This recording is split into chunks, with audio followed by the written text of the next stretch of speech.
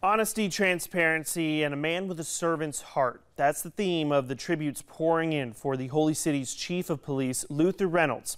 He shared a letter with the community saying that he is ending cancer treatments and entering hospice care. Our Molly McBride tells us how his colleagues describe his impact to the Low Country in his five years of leading the force. Chief Reynolds' colleagues say he's a person who's committed his heart to public service and has the integrity needed to run a police department. You looked at this man and who was just a picture of health, and then have to go through this, um, and he just he took it with grace um, every step of the way.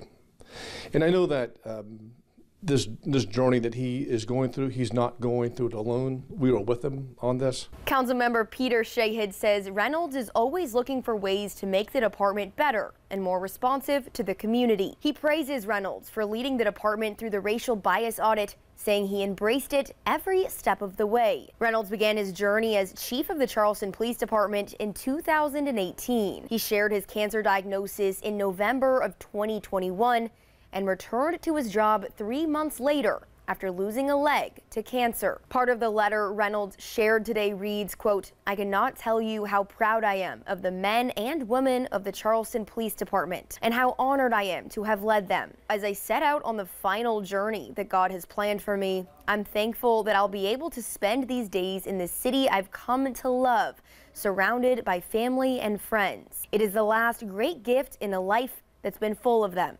Councilmember Shahid says the department is losing a person ahead of his time on policing, but he reassured me that Reynolds has built an amazing team and is leaving the department well equipped to keep the community safe.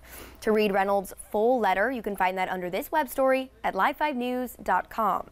In the newsroom, Molly McBride, Live 5 News. Mayor John Tecklenburg has asked the three deputy chiefs to lead the department through this period.